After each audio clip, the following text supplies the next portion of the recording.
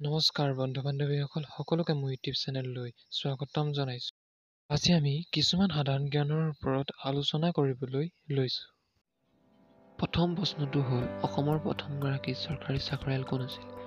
উত্তৰটো হ'ল আনন্দৰাম বৰুৱা।